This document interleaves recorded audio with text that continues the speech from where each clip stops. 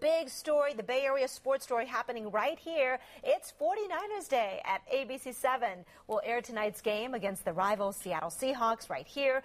ABC7 News reporter Kira Klapper is live on the Embarcadero in San Francisco with news of a local lady who will take center stage before the game. Hi, Kira.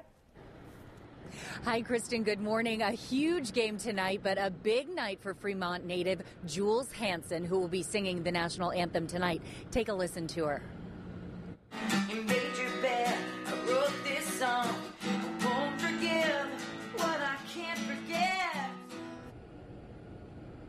The country singer was cast as a top 10 finalist on Nashville Star Season 4, hosted by Wynonna Judd back in 2006. Jewels already has performed the national anthem for the Giants, the A's, and the Sharks, but this is her first time singing for the Niners. Jewels spoke with ABC 7 News about how excited and honored she is to sing for her favorite team.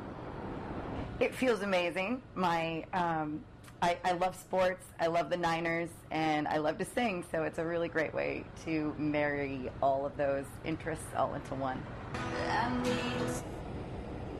So Jewels kicks off all the fun at the game tonight right here on ABC 7 at 5, but there's a lot of fun to be had before that, including right here on ABC 7 News at 11 a.m. and the rest of the day. So it's safe to say just keep your TV on the channel that it's on right now.